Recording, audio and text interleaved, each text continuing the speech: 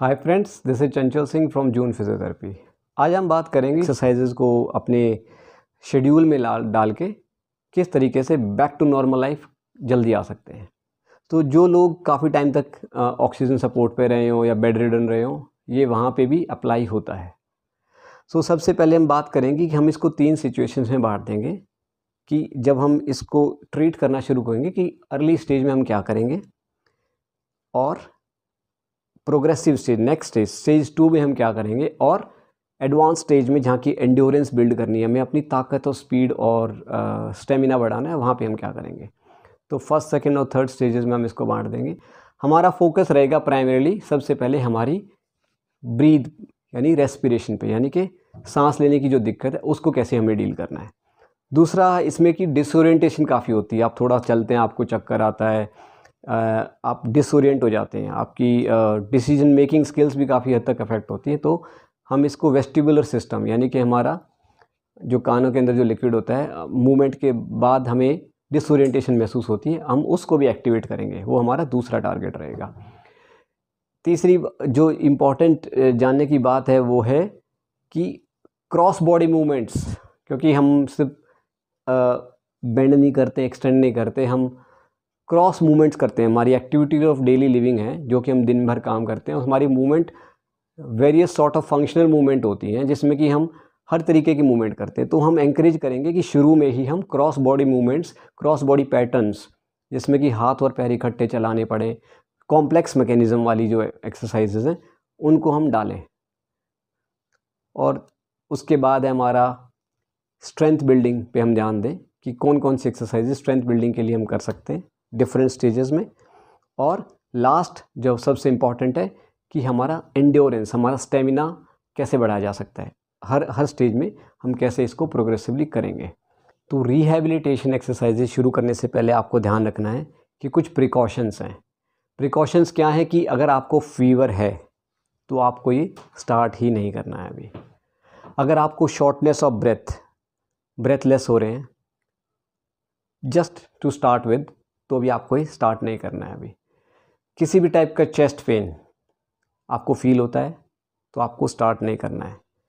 Palpitation यानी कि आपको you are aware about your own heartbeat आपको लग रहा है कि आपका हार्ट धड़क रहा है, बहुत घबराहट हो रही है तो भी आपको ये नहीं करना है। उसके लिए थोड़ा वेट करेंगे। और अगर आपको पैरों में स्वेलिंग आ जा रही है, थोड़ा चलने से या कुछ करने से तो भी आप ये एक्सरसाइज नहीं करेंगे। और अगर आप ये कर, करना शुरू कर चुके हैं, किसी भी स्टेज में एडवांस में या बिगिनिंग स्टेज में या मिडल स्टेज में, किसी भी स्टेज में आपको अगर डिजीनेस फील होती है तो आप इसको बंद कर देंगे। एक्सरसाइज में सिवियर फिटीग महसूस हो रही है, आपको हार्ट बीट इरेगुलर लग रही है तो आप इसको बंद कर देंगे। वहीं के वहीं, आगे प्रोग्रेस नहीं करेंगे। अनटिल आप इसको किसी डॉक्टर या फिजिशियन या थेरेपिस्ट से कंसल्ट करें। तो सबसे पहले हम टारगेट करेंगे हमारे लंग्स पे, यानी कि ब्रीदिंग मैकेनिज़्म पे। आप सिंपली अपने कमर के बल लेट जाएँगे, घुटने बेंड कर लेंगे, अपने पाम को अपने टमी पे रखेंगे बेली पे and normal breathe in for two to three seconds breathe in to a belly यानी कि सांस पेट में लेना है। पेट फूलेगा जब सांस अंदर जाएगा तो। ये महसूस करिए कि आपकी उंगलियाँ फैल रही हैं, पेट के ऊपर जो आपने रखी हैं बेली के ऊपर and then breathe out belly breathing यानी डायफ्रामेटिक ब्रीदिंग और योगिक ब्रीदिंग भी बोलते हैं इसको। इससे आपको रिलैक्सेशन होती है एंग्जाइटी घटती है आपकी। आपने देखा होगा कि काफ़ी लोग जब रेस्टलेस होते हैं तो दे यूज़ एवरीथिंग शोल्डर वाली नेक मसल्स भी यूज़ करेंगे शोल्डर को हिंज कर लेंगे, सांस लेने के लिए सब कुछ करना पड़ता है। क्योंकि they are short of breath तो यहाँ पे रिलैक्सेशन होगी और आपको बेली ब्रीदिंग इम्प्रूव और एंकरेज करनी है। तो आप लेट के सिर्फ़ एक मिनट तक ये प्रैक्टिस करेंगे। इसमें जितनी भी ब्रीदिंग कामली हो जाए दैट इज़ ग्रेट यही चीज़ आप पेट के बल लेट के करेंगे, उसमें आप हेड डाउन आप चेस्ट के नीचे पिलो ले सकते हैं, अगर आपकी बेली ज़्यादा है, पेट ज़्यादा है तो चेस्ट के नीचे पिलो लेके हेड डाउन पोजीशन में लेके same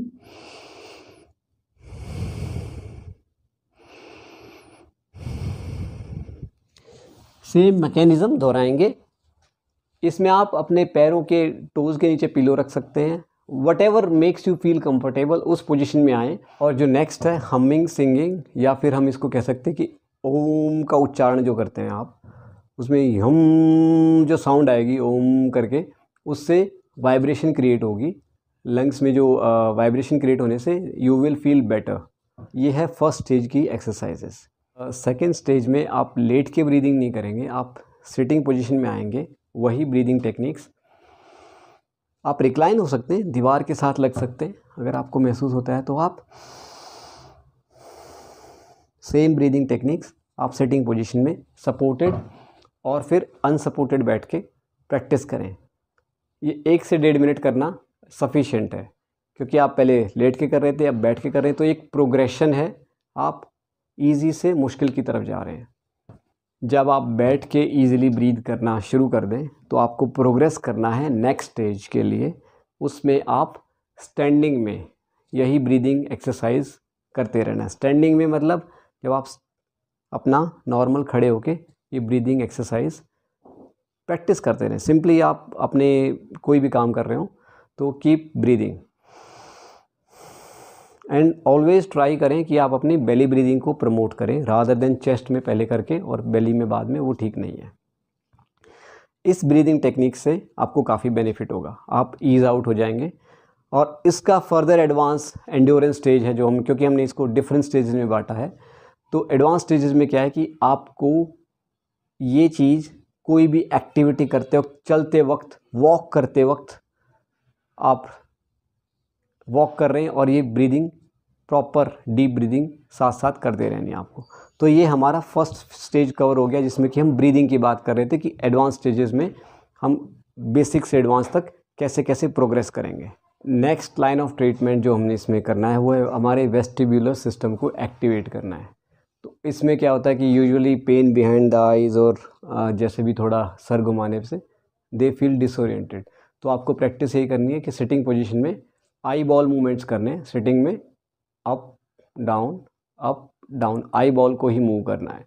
And then second one is left right left right left right ये आपको अबाउट थर्टी सेकेंड्स एक करना है, यानी कि अप डाउन और left right thirty thirty seconds each इसके अलावा आप अपने सिटिंग पोजीशन में ही हेड को लेफ़्ट हेड को राइट हेड को लेफ़्ट हेड को राइट। इस तरीके से आप रेंडमली और इजीली मूव कर सकते हैं। ये प्रोग्रेशन वाइज बता रहे हैं कि पहले उससे स्टार्ट करना है एंड देन एक एक मिनट ये and then head up head down up down ये आप वेस्टिबुलर सिस्टम को एक्टिवेट करने के लिए सेकेंड स्टेज में कर सकते हैं। सो सेकेंड स्टेज में ही आ, मैं आपको दो एक्सरसाइज और बताता हूँ। इसमें आप सेटिंग पोजीशन में आएँगे, पैर जो है वो प्लांटेड रहेगा ग्राउंड पे और आगे पीछे रॉकिंग करेंगे। हाथ ऊपर, ऐसे। इसका प्रोग्रेशन इसी एक्सरसाइज का प्रोग्रेशन है कि आप इस मोमेंटम के साथ उठ जाएँगे और फिर बैठ के नीचे। मोमेंटम लेंगे और फिर उड़ जाएँगे। तो ये आपको काफ़ी इजी लग रहा होगा बट ये जो लोग काफ़ी क्रिटिकल होते हैं, उनके लिए ये ईजी नहीं होता। है ये सेकेंड स्टेज में हम करते हैं। इसके अलावा बेड पे रोलिंग भी आप इंकरेज कर सकते हैं कि इनिशियली उनको turning on on the in the bed it is very difficult तो आप उनको इंकरेज करें कि ये सिटिंग पोजिशन में है and all of a sudden roll in this side and on the opposite side so आप उनके घुटने, उनको एंकरेज करें कि वो घुटना बेंड करें। Just roll stay there roll back this way so उससे क्या होगा कि उनको जो डिस ओरिएंटेशन क्रिएट होता है, वो नहीं होगा फिर। मतलब थोड़ा सा मूवमेंट से चक्कर आना और डिसोरिएंटेशन ये होना बंद हो जाएगा। So on this stage we can try these exercises में एडवांस स्टेजेस में हम क्या करेंगे? वेस्टिबुलर सिस्टम को एक्टिवेट करने के लिए हम क्रॉलिंग पोजीशन में आ जाएँगे राइट और हम बॉडी के साथ नेक भी मूव करेंगे। अप डाउन अप डाउन इसके अलावा नेक्स्ट एक्सरसाइज इसके लिए होगी कि आप सीधे लेट जाएँगे। आर्म्स को प्लेस कर लेंगे, इसको उठा के ईदर साइड एंकरेज करेंगे twisting activities like this so these are very generalise exercises but इनके काफ़ी बेटर रिस्पॉन्सेज होते हैं। तो इससे हम अपना वेस्टिबुलर सिस्टम को काफ़ी एक्टिवेट कर लेंगे। हमारा बैलेंसिंग प्रॉब्लम और हमारा जो चक्कर वक्कर जो महसूस होते हैं फटीक की वीकनेस के कारण, वो सब धीरे धीरे काउंटर हो जाएगा। जो हमारा नेक्स्ट पिलर है इस रिहेबिलिटेशन फ़ेज़ का, वो है क्रॉस बॉडी पैटर्न को ज़्यादा इंकरेज करना है। तो हम स्टार्टिंग में तो क्या करेंगे बेड में ही जब वो इनिशियल स्टेज में होंगे तो हम इंकरेज करेंगे कि वो अपना ये वाला मोमेंट एंकरेज करें आप। राइट इससे आपकी कोर मसल्स भी एक्टिवेट होती हैं। अगर आप उसको ध्यान से करेंगे तो इसको आप टक करके करेंगे तो क्रॉस मसल्स कोर मसल्स भी एक्टिवेट होंगी। तो ये इनिशियल स्टेज में तो आप लेट के करेंगे। नेक्स्ट स्टेज में तो जब आप ये बेटर कर पाएँ तो आप इसका प्रोग्रेशन है कि आर्म्स को ऊपर कर लें। इससे आपकी कोर मसल्स एक्टिवेट होती हैं, अगर आप ठीक से बैठें सीधा।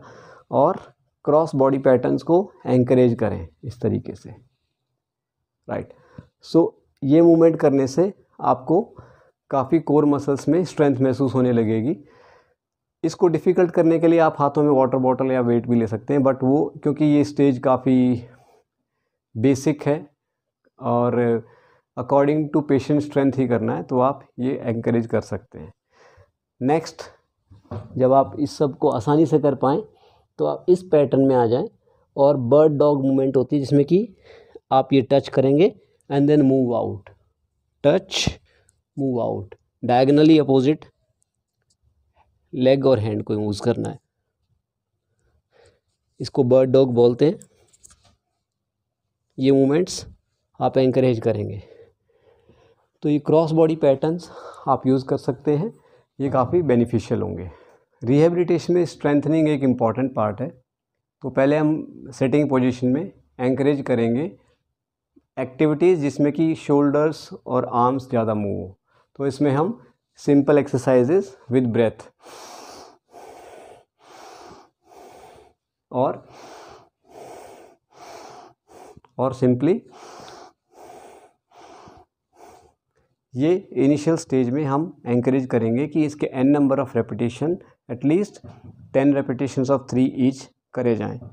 क्योंकि इसमें हम कोई एक्सटर्नल सपोर्ट या वेट नहीं ले रहे हैं तो ये काफ़ी है बेनिफिशियल होगा। इसी की नेक्स्ट स्टेज में प्रोग्रेशन में हम थोड़ा सा वेट कैरी करेंगे हाथ में। इसमें आपके पास वेट नहीं है तो आप one litre water bottle half litre water bottle आपकी स्ट्रेंथ के हिसाब से ले सकते हैं। तो आप स्टार्टिंग करेंगे बायसेप्स कर्ल से। ये कितना करना है डिपेंडिंग लाइक आप बिगनर हैं, बिल्कुल ही तो आप ये लाइट वेट से टेन टेन के टू टू थ्री सेट्स कर सकते हैं राइट आप इन वेट्स को यहाँ ला के यूँ कर सकते हैं। शोल्डर प्रेसेस बैठ के ही करना है आपको ये, ठीक है? अगर आप बहुत ही अच्छा महसूस कर रहे हैं तो ही आप अबडक्शन एक्सरसाइजेज करें, नहीं तो इनकी ज़रूरत नहीं है। और ब्रीदिंग पैटर्न बना लें, जिसमें कि जब भी आपकी बॉडी ओपन अप होती है तो breathe in and then when it's collapsing down breathe out right so ये आप ten repetitions of three sets each कर सकते हैं। अगर आपकी इतना स्टेमिना नहीं है तो आप एक एक सेट से धीरे धीरे बढ़ाएँगे। इसका जो प्रोग्रेशन है, क्योंकि आपने स्टेज वन और स्टेज टू देख लिया नेक्स्ट स्टेज में क्या है कि हमने हाथों की तो कर ली नेक्स्ट स्टेज में हम लोअर बॉडी की मूवमेंट्स करेंगे। सो so, अभी जो एक्सरसाइजेज है वो स्टैंडिंग पोजीशन में होगी। इसमें क्या करना है हमें? हील रेज करना है अप डाउन अगर आपका बैलेंस अच्छा नहीं तो आप किसी चीज़ को होल्ड कर सकते हैं। किसी भी डोर हैंडल को या वॉल के साथ up down up down up down ये रेपिटेशंस आपकी स्ट्रेंथ के ऊपर डिपेंड करेंगे। आप टेन रेपिटेशंस ऑफ़ वन और टू करें एंड देन धीरे धीरे प्रोग्रेस करें। इसी का प्रोग्रेशन आप सपोर्टेड स्क्वाट्स करेंगे, या किसी डोर हैंडल को पकड़ लेंगे, या किसी चेयर को जिस पे कोई बैठा हो, या किसी दरवाजे के हैंडल को एंड देन पार्शल स्क्वाट्स करेंगे ऐसे सपोर्ट के साथ। आप किसी भी चीज़ का सपोर्ट ज़रूर लेंगे। Here I am not taking any support आप इस तरीके से squats start with like doing five and then धीरे धीरे बढ़ाएँ पाँच करके उसके बाद। इसके अलावा आप वॉल प्रेस से शुरू करेंगे, जैसे हम पुशअप्स करते हैं आप वॉल के अगेंस्ट जाएँगे एंड जस्ट पूरा बॉडी वेट अपने आर्म्स पे डालेंगे। आप कॉर्नर ऑफ़ द वॉल पे भी जा सकते हैं, आप सिंपल वॉल पे भी जा सकते हैं। और आप कोई बहुत इजी लगे तो आप थोड़ा किसी रिक्लाइन सरफेस पे, जैसे किसी टेबल या उस पर भी जाके आप इस तरीके से कर सकते हैं। तो ये एडवांस स्टेजेस हैं। ये कितना करना है डिपेंड्स लाइक आप चार, पाँच से शुरू करें, एक, दो बार, और उसके बाद धीरे धीरे बढ़ाएँ। तो ये क्या है? ये आपका स्ट्रेंथ एंड स्टेमिना बिल्ड करेगा। Now important thing is endurance building endurance building में आएगा कि आप एंकरेज करें कि बिना रुके स्टार्टिंग में बिना रुके पाँच मिनट तक वॉक करें।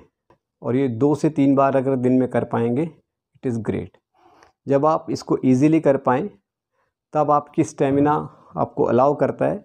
तो नेक्स्ट स्टेज में हम इसको up to ten minutes without stopping walking हम करेंगे और इसको बिल्ड करेंगे। सेकेंड स्टेज में टेन मिनट से लेकर ट्वेंटी मिनट्स तक बिना रुके कंटिन्यूस वॉकिंग कर सकें एक ऑप्टिमल पेस पे। और एडवांस स्टेज में जब एंड्योरेंस आती है तो उसमें हम वॉक करेंगे half an hour to forty five minutes वो ब्रिस्क वॉक होगा। और उसका पेस इतना होगा कि आप किसी से बात कर रहे हैं तो आप शॉर्टनेस ऑफ़ ब्रेथ नहीं है। मतलब आप किसी से कन्वर्स इजीली कर सकते हैं। चलते चलते स्पीड से भी चल रहे हैं और आपकी पेस ऐसी होनी चाहिए कि आपका हार्ट रेट इतना ज़्यादा ना बढ़े कि आप उससे बात करते हाँफने लग जाएँ। तो हाँफना नहीं है। एक एबिलिटी टू कन्वर्स होना चाहिए कि आप बात कर पाएँ, उस पेस पे आपको चलना है। और that is for half an hour to forty minutes यानी कि आधे घंटे से पौने घंटे तक आप ये कर पाएँ तो आपकी एंड्योरेंस इम्प्रूव होगी। तो ये कुछ स्टेजेस थे हर एक के जिसमें कि हमने स्ट्रेंथ पे भी फोकस किया एंड्योरेंस पे फोकस किया वेस्टिबुलर सिस्टम पे भी फोकस किया और हमारे क्रॉस बॉडी पैटर्न्स पे भी फोकस किया और सबसे ज़रूरी था ब्रीदिंग ब्रीदिंग एक्सरसाइज के बाद आप प्राणायाम में मूव कर सकते हैं। तो ये सब आप करेंगे तो आपको काफ़ी बेनिफिट होगा, आपकी रिकवरी काफ़ी स्मूद होगी और आपके सिम्टम्स जल्दी सबसाइड हो जाएँगे। बॉडी एक बॉडी पेन थकान, वो और लोगों को ज़्यादा दिन तक रह सकता है। अगर आप ये टेक्निक यूज़ करेंगे, ये चीज़ें यूज़ करेंगे तो आपको महसूस होगा कि आप औरों से जल्दी ठीक हो पाएँगे। आप ये सब करके देखेंगे आई होप ये आपको काफ़ी बेनिफिशियल लगेगा और औरों को भी आप इसको आगे स्प्रेड कर पाएँगे। ये एक्सरसाइज आप किसी को बता भी सकते हैं, आप खुद सफ़र करके आए हैं या किसी को फैमिली में देखते हैं फ्रेंड सर्कल में देखते हैं, आप उनको ये ज़रूर बताएँ कि ये सब आप कर सकते हैं और इससे काफ़ी बेनिफिट्स होते हैं। क्विक रिकवरी होती है। इस वीडियो को आगे भी शेयर करें और हमारे चैनल को लाइक और शेयर करें और फर्दर वीडियोज़ के लिए सब्सक्राइब करें। Thank you for watching